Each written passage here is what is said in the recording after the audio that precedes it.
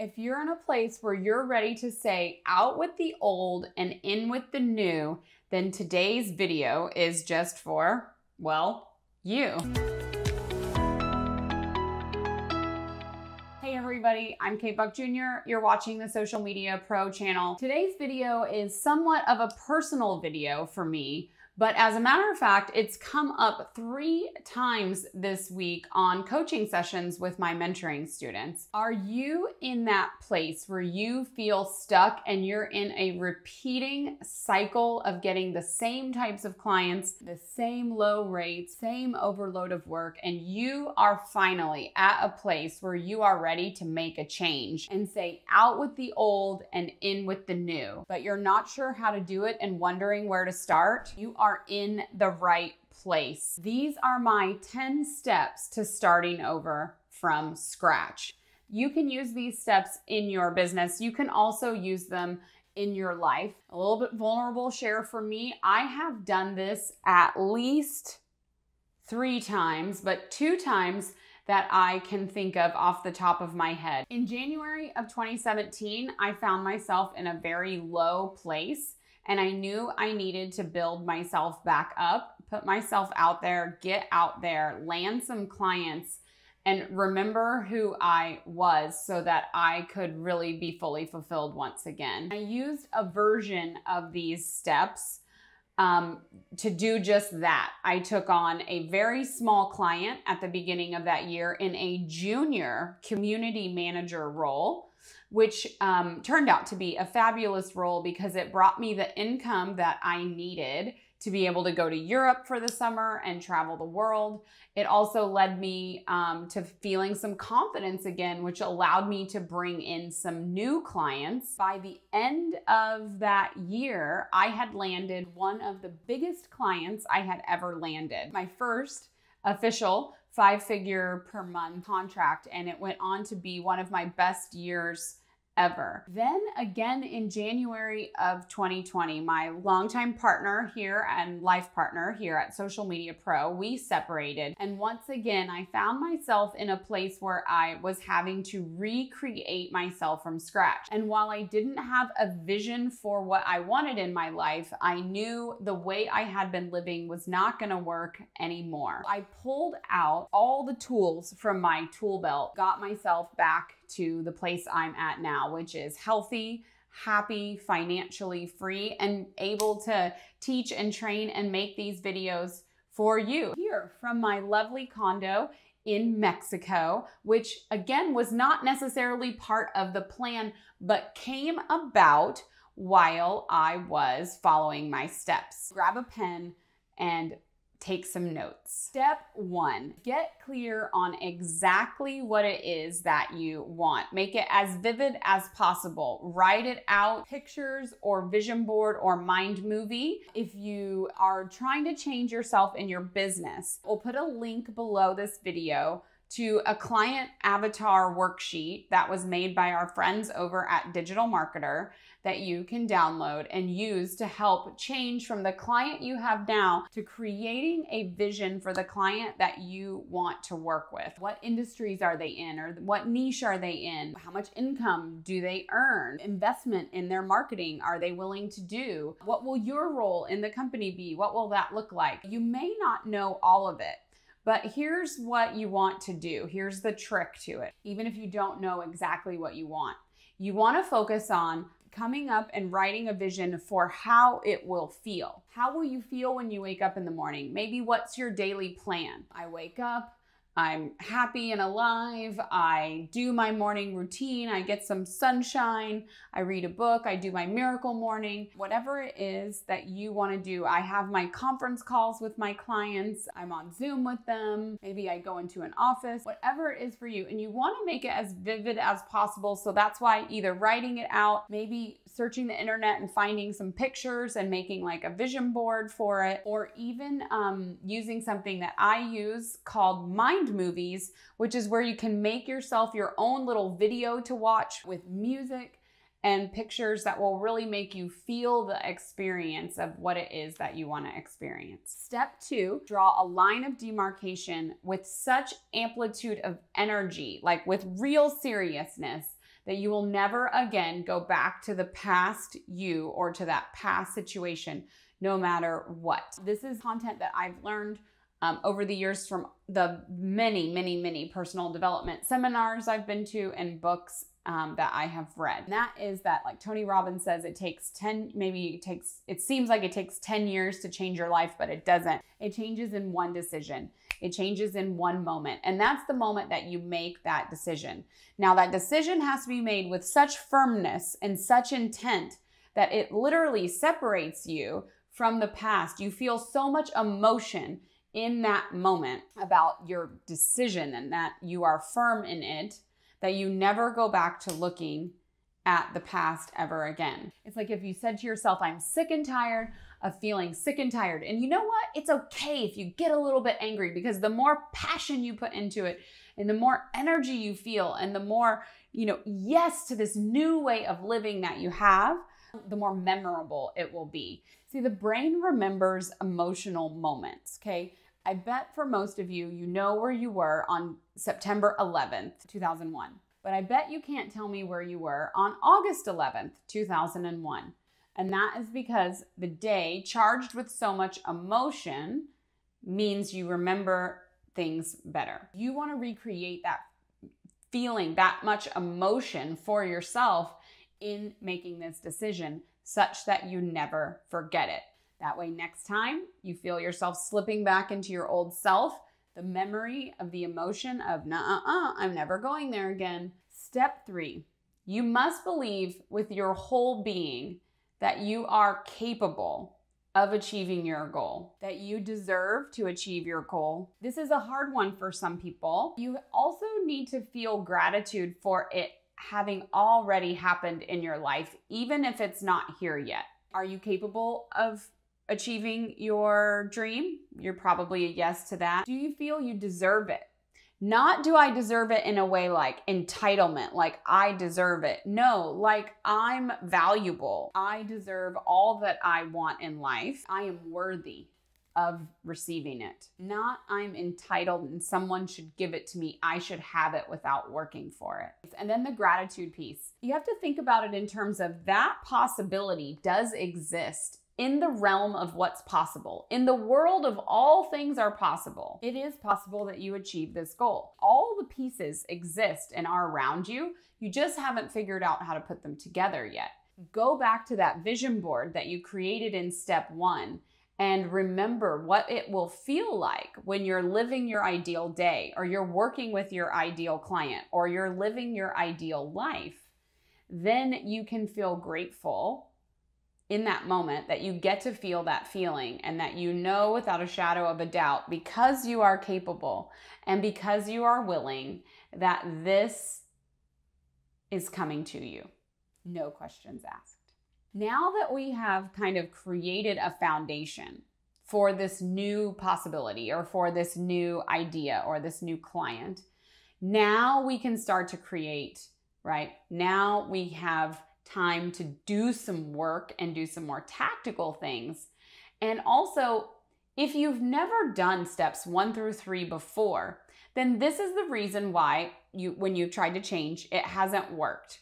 Until you come up with a vision, until you draw the line of demarcation, and until you do the work to believe that you're capable and worthy and that it's coming without a shadow of a doubt, then anything you've created has been more of the same of what you already had. It maybe looked a little bit different, you know, it was a different client, but they paid the same. It's not until you start believing that you really deserve better clients and that you're capable of servicing better clients. Some of you come to me all the time and you think you need to keep learning, learning, learning, learning more before a better client will hire you. It's really not about that. It is about being sure that you can communicate to them that whatever it is that they need you to do, that you're going to do everything in your power to make that happen and that you have the know how to figure it out and you have resources available to figure it out. That's all that clients are looking for. So, step four is now we need to train our minds and our bodies to stay in this state that we just created. We just made some decisions. We felt worthy. Now we need to practice staying here. So close your eyes. Remind yourself what it would feel like to accomplish that goal. Or you can ask yourself the question, what would X do? If I was already that, what would I do next? What would be my next step? And I want you to memorize this feeling.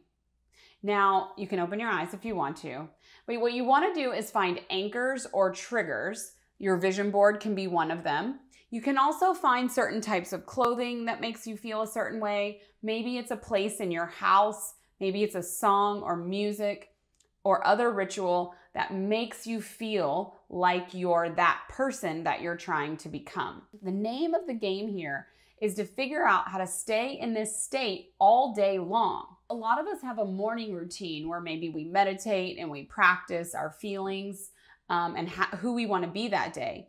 But then the moment we come out of our meditation, you know, the phone rings, coffee pots beeping, um, we're late to a Zoom call, got to get our kids to school, whatever it is, and we completely abandon the thoughts that we created while we were sitting down. Stay in this state all day long, not just in your 10 minute morning routine. Mm. These are all just hacks that I created for you.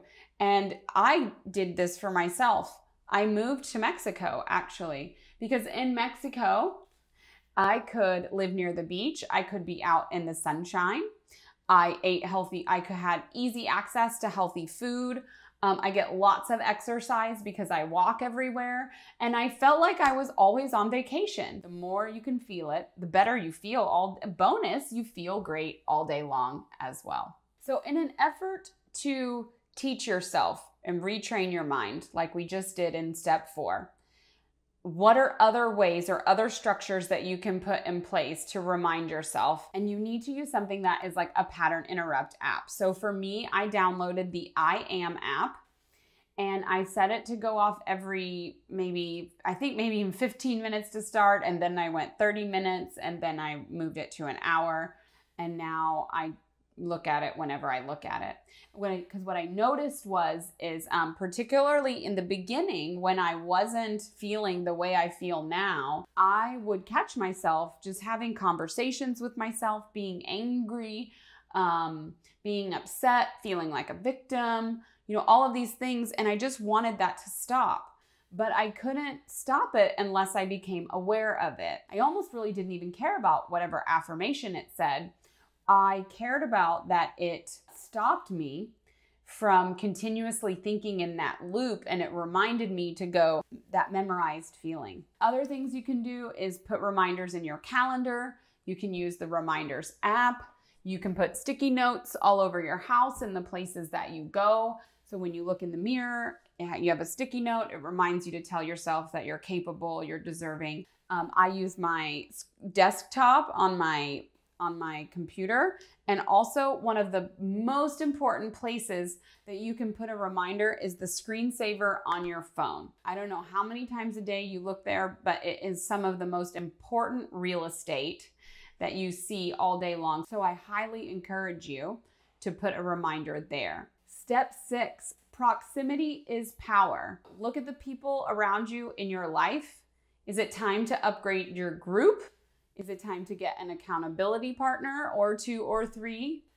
See, some people um, in your life get to stay, but they may need to stay at arm's distance. And these are the people who either don't believe in you, maybe criticize you. This could also be people that are just constantly complaining to you or they're negative. Maybe these are people that are just not going where you're going, AKA, it really sucks to say, but they're not of a wealthy or abundant or positive mindset. It's really easy to get sucked down into what's going on with other people. It's even hard for me to share because some people in my life got moved to arm's distance. Some of them might even be watching this video as I shared it because I was trying to move forward and I needed to silence any negative noise in my life. I was having a hard enough time silencing the own negativity between my own ears, and I didn't need to hear or absorb anybody else's. So if anybody wasn't like actively every day working on growing themselves, I kind of stopped responding to text messages. And what I did do was I joined a couple of groups. I tightened up my inner circle. I made sure to schedule calls with my friends that were positive influences in my life to make sure that I kept in touch with them and that we had a, we have time to connect. Some people I connect with weekly, some every 2 weeks some once a month. Sometimes the reminder comes up for our call and we're both busy, but we at least have a time to touch base and say hello so we stay in touch. Proximity is power also applies to what you consume. So it also applies to the things that you're reading and the things that you're listening to. So this is why you see people switch to audiobooks, podcasts, switch off the media Turn off your social media feeds, except for business use, of course. Make sure that you're reading and listening to positive, inspirational, uplifting media. Back to that idea that you don't have a plan yet. Tony Robbins says if you don't know what to do in life, Start with your physical health. Even now, I'm trying to go to the next level. I had a falling out with a client a couple of months ago, and it left me sort of trying to figure things out really again in a new way. Main thing that I did because I didn't really know what else to do at the time was to put myself into my physical health. This could be supplements, this could be exercise, this could be diet, hydration anything, but optimizing and changing your physical body will change your mindset and that will change your life. We have that video on bleed theory, right? So when you start something and you start working on yourself in any area, it will bleed over into all the areas. Step eight. Another thing you've heard me talking a lot about recently is integrity. One of the ways to help move yourself forward in life is to create an integrity file of everything in your life that's kind of undone, all the loose ends, and get to work on cleaning them up. It might be unpaid bills, it might be that your car's out of inspection, you know, that key that you need to get um, duplicated that it's been sitting near the door for a year, uh, a conversation with someone that you've needed to have for a while, you know, where you needed to share some stuff with them, or Interestingly enough, one of my students this week, earlier in the week, shared with me one of the challenges she was having was with her daughter. And when we showed up to our second call after I gave her this 10 step process, and I asked her if she had a conversation with her daughter. She said she did, but most of the issues she was able to resolve on her own. In that line of demarcation, and when you're starting to create all of a sudden things that you thought were a big deal are just not a big deal anymore. There may still be a few things that you need to address though, and if so, you need to have those conversations. You need to move that gunk and that garbage that's in the way. These are the things that when you're thinking about them, they're stressful. They take up mental space. So if you just make a list and figure out how you're going to get them done, start getting them done, you're already starting to make progress. Is it hiring a maid because you're have too much time working, you know, you want to spend more time working and less time cleaning your house or a personal assistant to run errands for you and to help you do your list. It's a great re- time to hire a personal assistant right after you've made a really big to do list of things to do. Make your integrity file and figure out a way to get going on getting it done bonus points if you complete it. Now, at this point, you should have some ideas to create your plan and uh, that you want to create to accomplish that goal. And I want you to work backwards. You already created your vision in step one.